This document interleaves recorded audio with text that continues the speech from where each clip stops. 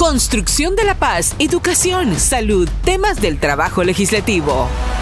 El diputado Neri Rodas, tercer vicepresidente de la Junta Directiva, llevó a cabo el Foro Cultura de Paz, Perspectivas para Guatemala, en el que participó como invitada la diputada Rocío Aguilar Tejada, del Congreso del Estado de Jalisco, México, así como ponentes de la COPADE, PNUD, Fundación Red Viva de Guatemala y Proyecto Guatemala Migrante. En el evento se abordaron temas sobre las estrategias de fortalecimiento para la paz en el país, el rol de Naciones Unidas y la construcción de paz desde la sociedad civil, así como las expectativas y aprendizajes en el estado de Jalisco que podrían ser replicadas en Guatemala.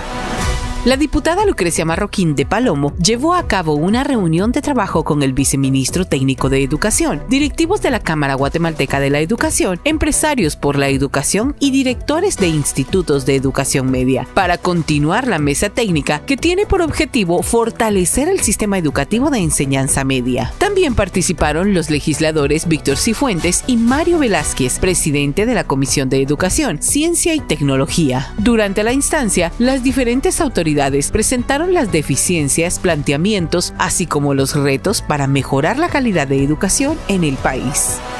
La Comisión de Asuntos sobre Discapacidad se reunió con la Asociación Amor DAO, que solicitó una ampliación de su presupuesto anual. La necesidad de fondos adicionales se debe a la donación de una nueva sede en Colomba, Quetzaltenango. Seguidamente, la sala legislativa recibió a integrantes de la Asociación Guatemalteca de Ostomizados, quienes solicitaron apoyo para que los pacientes que atienden sean incluidos dentro de la ley de certificación biopsicosocial de las personas con discapacidad, ya que esto les permite permitirá acceder a programas de salud y tener reconocimiento oficial en su condición.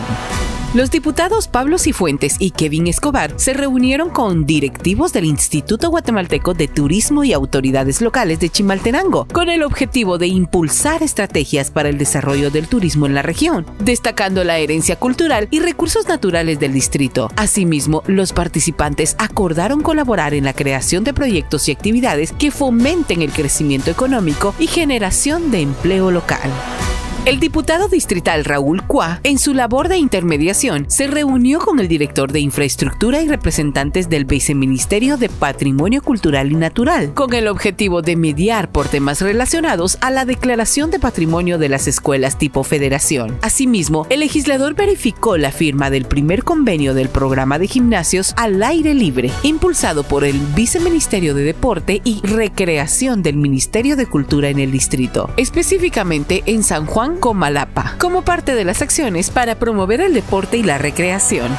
La Comisión de Educación, Ciencia y Tecnología otorgó dictamen favorable a la iniciativa 6102, que propone la prevención de la violencia en el sistema educativo público, misma que será presentada a Dirección Legislativa para que continúe su trabajo legislativo y que es el resultado del trabajo desarrollado en la Mesa Técnica de Seguridad con diferentes instituciones como la Secretaría de Bienestar Social de la Presidencia, PDH, Ministerio de Educación, Programa de Intervención Juvenil, Asociación Desafío, PNC, entre otras.